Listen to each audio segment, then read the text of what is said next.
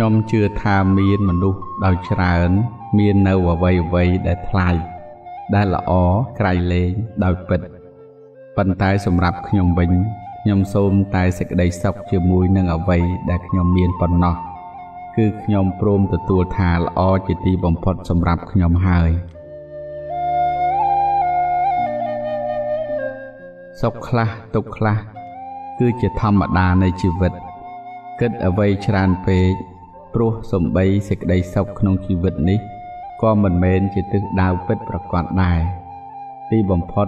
ព្រះរហន្តត្រេកអរនឹងបរិនិព្វានទេតើព្រះនិព្វានមិនមែនជាសេចក្តីសុខក្នុងโลกនេះឡើយតាមពិតសេចក្តីទុក្ខចូលមកប្រដៅយើង បានយ៉ាងល្អប្រកបផ្សំនឹងយើងបានសិក្សាព្រះធម៌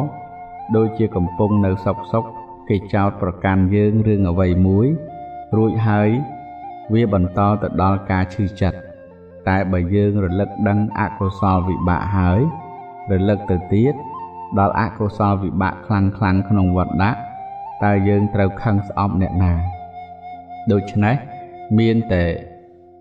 ប្រតិបត្តិលះនៅតណ្ហានឹងឯងជីវិតដែលរស់នៅដោយមិនជំពាក់វៈវិនជាមួយនឹងអ្នកណា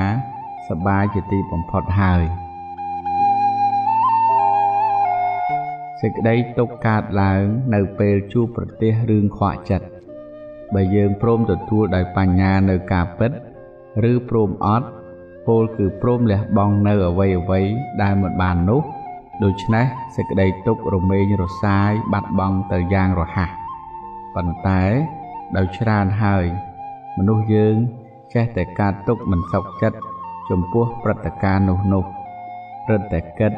រឹតតែទុកខ្លាំង រឹតតែទុកខ្លាំងរឹតតែភ្លេចខ្លួន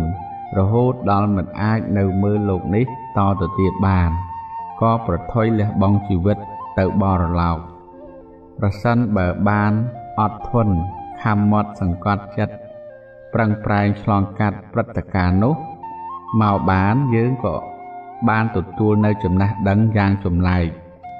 ត្រង់ដែលថាដូចម្ដេចបានជាយើងកាត់ទុកសោកសៅខ្លាំងម្ល៉េះ ខឹងក្រោតខ្លាំងម្ល៉េះមិនសមសោះព្រោះមិនមានរឿងអ្វីធំដុំផងនឹងទាំងយករឿងនោះមកនិយាយយ៉ាងស្រណុកចិត្តកំ pl ែងសាច់លេងទៀតផងមួយគឺអត់ធន់ធ្ងន់ដូចបបតាពីរគឺសីលាឧបមាផែនដី3គឺសតិអរុណសួស្ដី4ប្រឹងគ្មៀតខ្មៃ3ដូចវាយោ 5គឺបញ្ញាសូរិយាភ្លឺច្បាស់ដួងចិត្តស្រឡះប្រះចាកអន្ធោសម្លឹងទិសដៅទៅដូចទឹកហូរទុក្ខនិរោធោសមុតវិមុតដឹងការខ្វះខាតនៃអ្នកដតីចេះឲ្យអភ័យហរតីករុណាឃើញចំណុចល្អជ្រុំជ្រែងមុទិតារស់រួមលោកាមេត្តាដល់គ្នា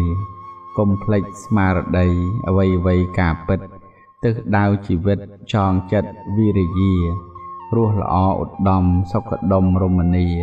តម្លៃការងារគឺជាប្រយោជន៍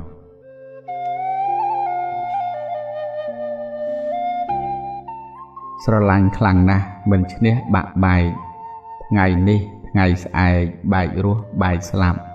យល់ដឹងសង្ខារលះការក្តោបក្តាប់ ដូចចាប់អ្វីទៅ លេងទៅទើបសុខ